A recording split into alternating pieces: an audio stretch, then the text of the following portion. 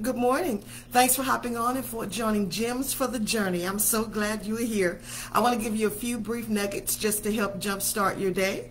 My name is Joie Rasberry, motivational speaker, inspirational speaker, empowerment speaker, keynote speaker, faith-based speaker, business speaker, writer, author, ghostwriter, columnist, essayist, all that fun stuff. Educator, I'm so glad I'm here this morning, and I'm glad that you're here too.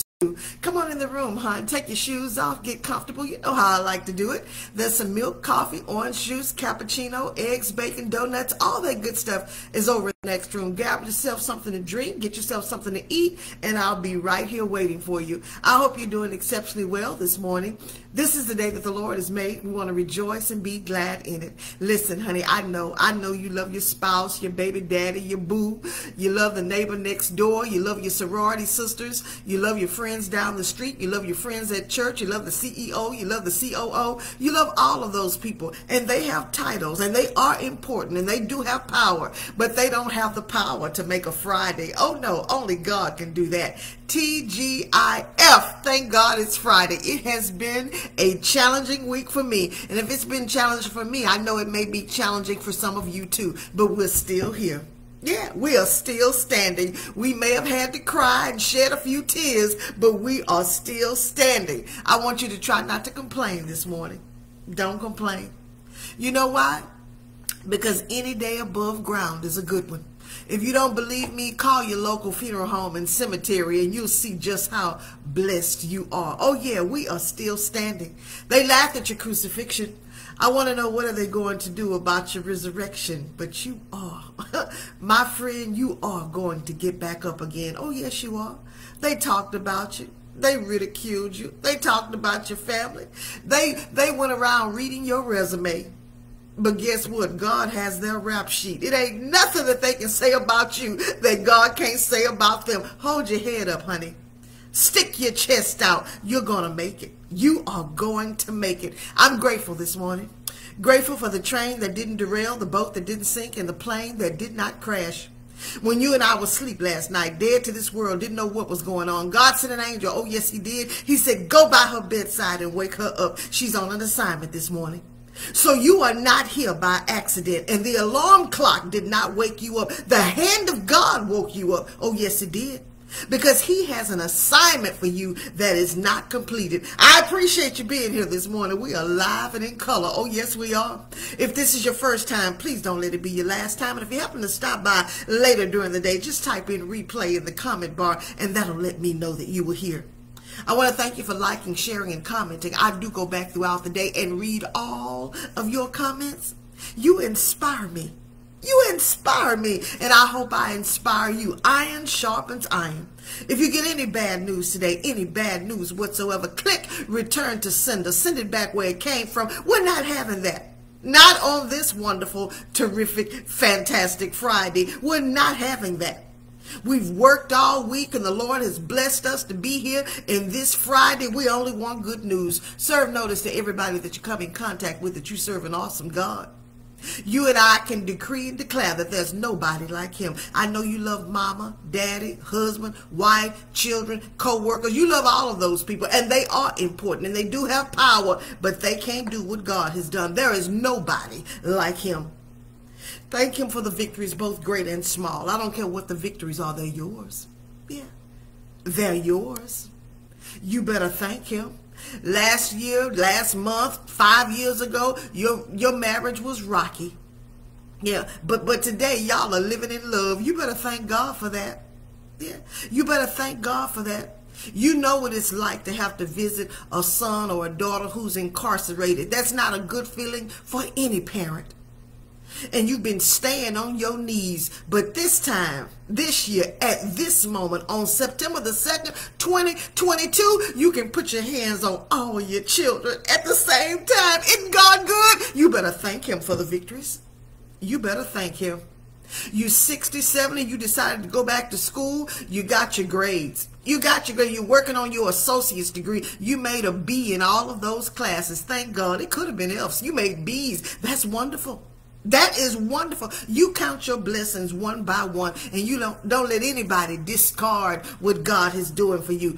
I want to ask God to do what I always ask Him to do on every call to help somebody, heal somebody, deliver somebody, restore somebody, redeem somebody, reposition somebody, turn somebody's life around, set somebody free, give somebody another chance. Whom the Son sets free is free indeed.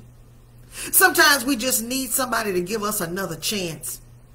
And when man and woman won't do it, God will. How many times should I forgive my brother? Seven times, seven times, seven. So don't go around counting how many times you should forgive somebody. Don't go around counting somebody else's sin. The only difference is you and I sin differently. So whoever's counting you out, that's their sin. They're lying. They're making you think or pretend that they don't have any faults. We all have them. So don't count anybody else's. Count your own and ask God to help you clean that up and thank him for his grace and for his mercy. That's the only reason we look as clean as we do. His grace and his mercy cleans us up. And if he cleans us up, he can clean somebody else up too. It can change your lifestyle. Yes, it can. He can change your language. Yes, he can. Yeah. It may take some time and effort, just like it did for, for you. But what he did for you, he can do for somebody else. Calvin Godin uh, sends a heart. Good morning, Calvin. Calvin, I'm so proud of you. I give your mother my love. Calvin, I love you. You are doing so well, young man. You are doing so well. I'm keeping my eyes on you. God has his hands on you, son. Don't you give up. Don't you give out and don't you give in. You keep your hand to the plow. I can see it all over you. God is doing something different. You hold on, Calvin. You tie knot and hold on. God is going to get you there. Yvette Marie Fuller, my colleague from SWCC, says, Good Friday morning, ladies. Good morning to you, Yvette. I'm so glad to have you here. Sister Ira Booker, First Lady of the Shelbyville Church of Christ in Tennessee, says, Good morning, sisters. Good morning. Sister Ira, I had a hearty laugh the other day. You left a post about you and Mr. B wearing white, and Mr.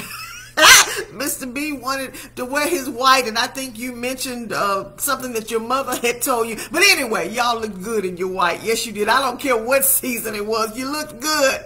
But it was a joke and it made me laugh. Sometimes we need to be able to just laugh, just a good laugh. And that was the day when I read that, Sister Ira, that was a day when I had a very challenging day. So just to be able to sit back and laugh, it felt so good. Thank you for giving me laughter. Georgia Charlie says, Good morning, Queens. Good morning, Georgia. So glad you were here. She sends flowers, hearts.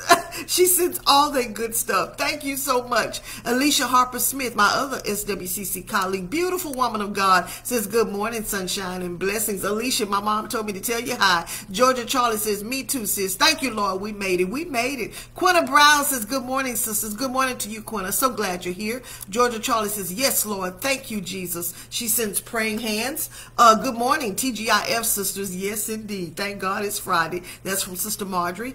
Bernita Martin says, Good morning, sunshine. It's a fantastic Friday. Yes, name it and claim it.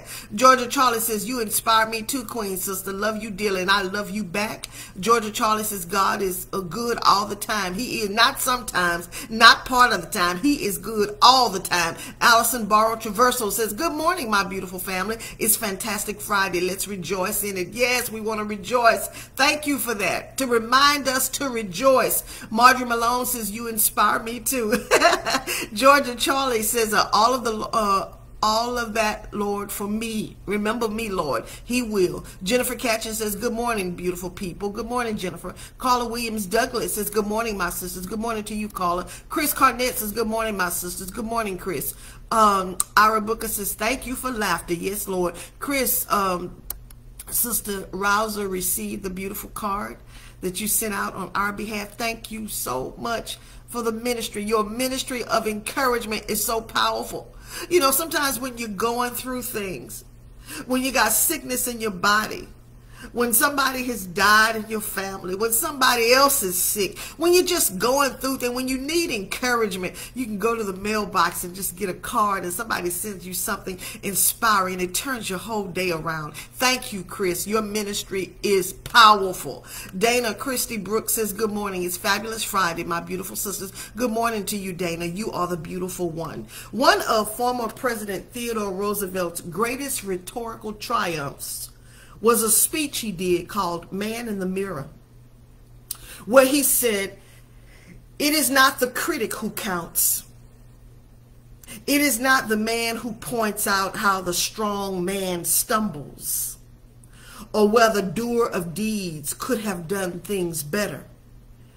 The credit belongs to the man who's actually in the arena, whose face is marred with dust and sweat and blood, who strives valiantly, who errs, who comes short again and again, because there is no effort without error and shortcoming, but who does actually strive to do the deeds, who knows great enthusiasms, the great devotions, who spends himself in a worthy cause who at the best knows in the end the triumph of high achievement, and who at the worst, if he fails, at least fails while daring greatly, so that his place shall never be with those cold and timid souls who either know victory nor defeat. Isn't that powerful? It is the man in the arena who God is watching. Even when the rest of the world may not understand it. It's not the critic. It's not the one who points out where you may have erred or strayed or, or, or, or, went wrong or, or made a bad turn or skinned your knee. No, no, no. It is not that person that God is worried about. He's worried about the one who's in the arena. The one who gets down in the trenches and is doing the critical work that maybe no one else even knows about. And this quote, my mother gave me this quote when I was a kid, about 10 years old. I have held it dear. It is the man in the arena who's doing the work doesn't matter if he makes a mistake or not. He's doing the work. It is not the critic. It is not the one who sits back and watches you and points out where you may have went wrong. Your critics are not the ones who matter. This, this quote taught me three invaluable lessons. One is that it is not about winning or losing. No. No, it's not about winning or losing. It is about showing up and doing your life's work. Because some days you will win, and truthfully, some days you will lose. But can you stay in the arena and do your life's work? Can you show up when people are talking about you? Can you show up when people have conspired against you? Can you show up when people have created a campaign to mess up your name? Can you show up when they don't talk to you, when they don't include you, when you're not a part of the clique or the entourage? Can you still show up? Can you do life's critical work? Can you show up when they act like they don't love you? Yeah. Can you can you show up? Can you still be on your assignment when it doesn't always feel good? Y'all are chiming in. I see you. Thank God. Thank God you are here this morning. Natasha says, uh, great morning, beautifuls. Bernitha says, Good morning, sisters. Yolanda Francis Finley, my middle school classmate, beautiful woman of God. If you're in the Houston area, she's a master hairstylist. She says, Good morning. Good morning, Yolanda. Georgia Charlie says, Yes, uh, speak. Ida, my middle school classmate, beautiful woman of God, also an entrepreneur with a fabulous, fantastic, has been in existence, I know probably 30 years, uh, home health care uh, business, state of the art. Uh, I'm talking your, your, your upper echelon. If you need a family member taken care of, she is the go-to. Ida Armstrong says, great morning, ladies. Sister Charlie says, yes, y'all are chiming in. So glad you're here. So glad you are here. Secondly, the only guarantees, the only guarantees you have that on some days you will be, the only guarantees you have rather, is some days you're going to be talked about. Some days you're going to be kicked in the teeth. Some days you're going to be ridiculed. Some days you're going to get kicked in your butt. I said it. You're going to get kicked and they're going to kick you hard. If you're going to create anything, you've got to be prepared for that. It doesn't matter if you sing well, write well, speak well, paint well, draw well, do law well, uh, do agriculture well. it doesn't matter what you do. Somebody is going to talk about you and ridicule you and kick you where it hurts. Critics will say and do things to try to stop you. Yeah. They will say and do things to try to stop you. I advise you this morning, you keep working. You keep getting up. You keep putting one foot in front of the other and give it your best shot. Success. Look at Serena Williams on the on the front cover of Time magazine. She did her thing, did she not? Her thing was tennis. What is your thing? Success is not giving 15% on Monday and 20% on Tuesday and 17% on Wednesday and 25% on Thursday and taking off on Friday. No, no, success is getting up every day, giving it 100% of everything that you have. You, my friend, you are the man or the woman in the arena. And some folk are not going to like you for that. Can you stay in the arena? Can you stay in the arena? Can you disregard what doesn't lend itself to the best part of you? Listen, I just got a call yesterday. I just got a call yesterday about a piece of commentary I wrote about Beyonce. I'm just writing, you know, as a social commentary writer. That article is going to be placed in a major magazine. Mm-hmm.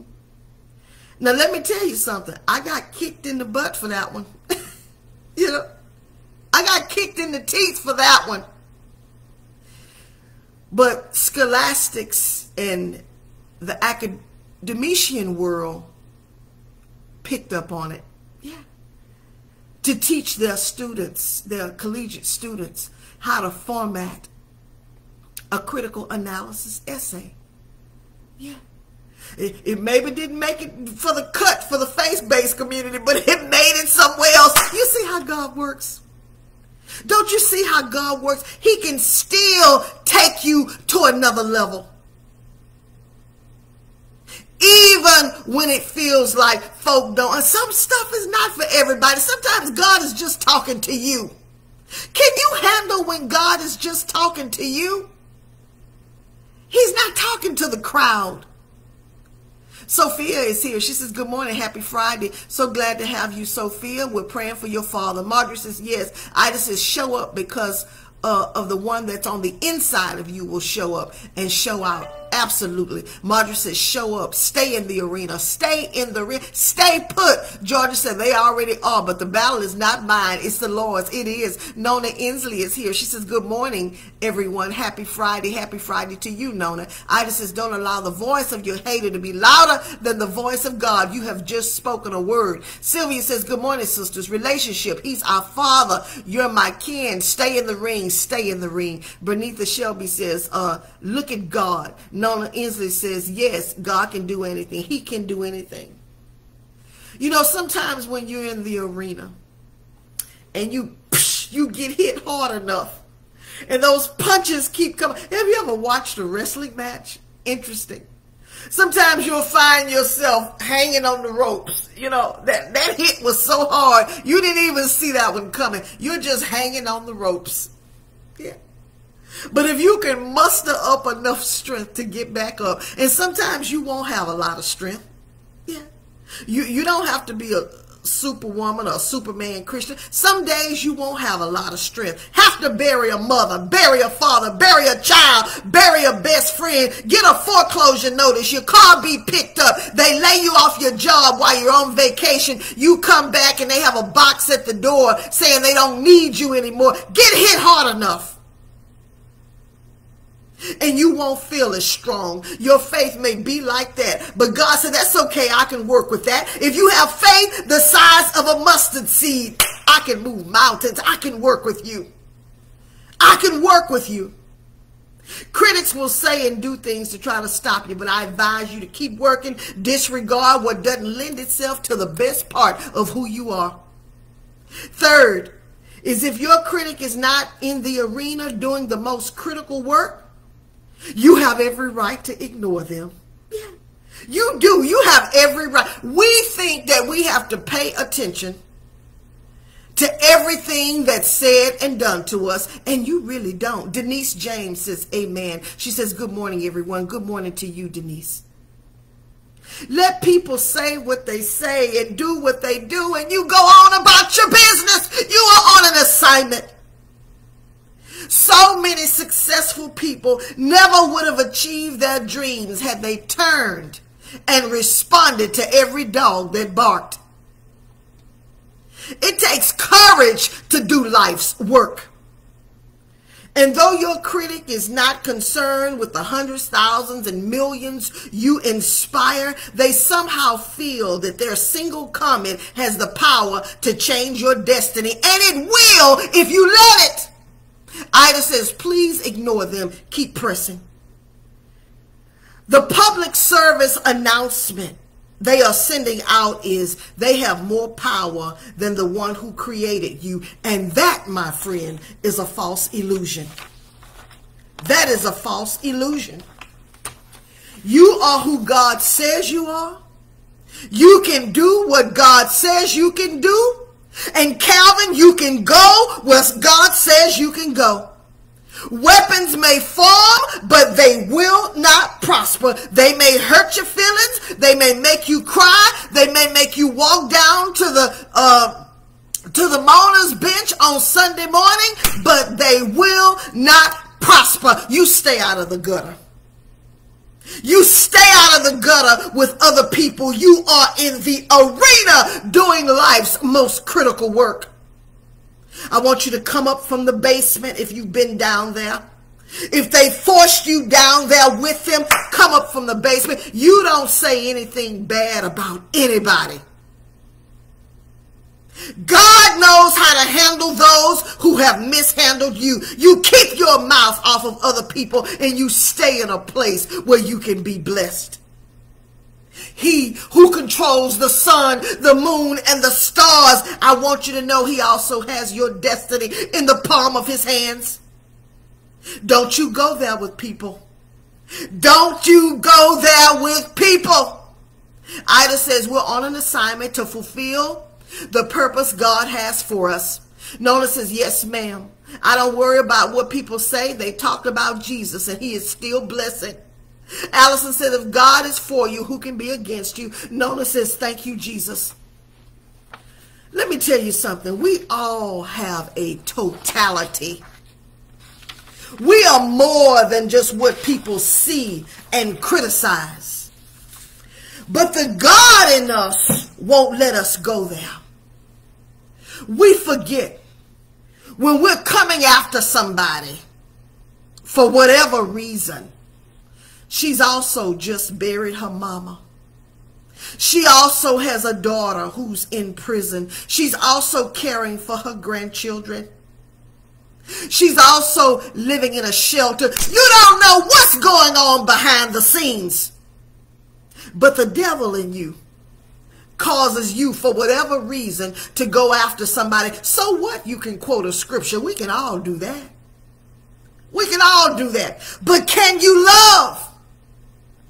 You know how to love people who look like Jesus, but do you know how to love the Judases? Because see, Jesus went where nobody else would go. He hung out with folk that nobody else would hang out with. He didn't just hang out with church folk. In fact, Jesus left home early. He experienced that a prophet is not welcome in his own home. Jesus took off. That's where he did his ministry. Yeah. He didn't do his ministry at church. He took off. He did his ministry in the street, on the road. yeah. In some dusty places, in some filthy places. He met some people who had fell off the bandwagon. That's where Jesus did his ministry. But you and I, you know, we want to toss out a scripture. Let me tell you something. The Bible says that every man is right in his own eyes. So that means all of us can come up with the scripture to contradict what the other person has said. God said, don't, don't be about that foolishness. There are too many people who are hurting and who need help. Yeah. Sylvia says, Congrats, Joie. We have no doubt you pack a grace filled punch. Doors are open wide for you. You've told us many times God will make room for our gifts and present us before great men. What a father. Oh, what a father. You are abs. Thank you. I received that, Sylvia. Yes, Proverbs 18, 16, a man's gift will make room for him and place him before great man. What is your gift? Not who talks about you who ridicules you. He didn't say anything about their gift. He said, Your gift. Will you stay in your gift? Will you stay in your anointing? Will you keep doing what God called you to do even when folk don't understand it? Even when people will come after you? Will you keep doing it? Yeah. Because you are the man in the arena. Allison says, amen to that. We can't pick, choose who we minister to. Absolutely. Tiffany says, yes, beyond the four walls. It is beyond the four walls. Yeah. Ida says they are talking because we're standing out shining like a diamond and they want what we got and they have to, uh, all they have to do is ask. We did it. We came asking, seeking, and knocking and God answered. That's it. That's it. Absolutely. Don't let jealousy, envy, rivalry, conjecture, speculation, don't let those things get in the way of you being blessed. Your gift will make room for you. God has promised that, and he cannot lie. If God be for you, who can be against you? No weapon, no weapon formed against you shall prosper. I want you to stop being selective about who you like, who you don't like, who you're going to talk to, who you're not going to talk to, what group you're going to be a part of. Honey, God ain't in that. He ain't in that foolishness. That's us. That's us and our ignorance. God ain't in that. He can bless whoever he wants to bless and he can curse whoever he wants to curse. I want you to be amazing today. If nobody has told you that they love you, let me tell you, sis, I love you. Calvin, I love you. And there ain't one thing, not one thing you can do about it. We are children of the Most High. He has placed his stamp of approval on us. You are head and not the tail. You're the first and not the beginning. You are above and not beneath. You are the apple of God's eye. You are royal priesthood, a chosen generation. You are a city that sits high on a hill that cannot be hid. You are not stuck this morning. You've just decided to stop moving. I want you to move. I want you to get up. You are not depressed. I'm not going to claim that over your life. You are not. You are just uninspired. And I hope today you'll go back and listen to this again. I hope I've said something to inspire you. Ida says, my gift made room for me. Natasha is clapping. Yeah. I hope I've inspired you. You just need to be motivated. I hope I've motivated you. Motivation is taken from the Latin word motere, which means to take action. Just keep getting up, y'all. Putting one foot in front of the other. Denise is clapping. Allison says, yes, you did. Let them talk. Let them talk. Let them say what they're going to say. They don't have a heaven or a hell to put you in, but God does. God does. And he loves you. Listen, y'all, I got to get out of here. I got places to go. People see things to do. I know you do too. I know you do too. This is a fantastic, fabulous Friday. Enjoy this day. Share this message with a friend. Go back and listen to it again and be blessed. You, you, my friend, you are the man or the woman that's in the arena doing the most critical work. I want you to have a good weekend. I'm not here on the weekends, but I look forward to meeting you back here on Monday morning. Sister Phyllis, Rebecca Hall Davis, a beautiful woman of God says, Amen, little sister. I love you, Sister Davis, and I'm praying for uh, Brother Davis's health always. Allison says, Yes, you did. Ida, is on fire. Denise says, yes, you did. Take care. I look forward to meeting you back here Monday morning. Have a blessed weekend.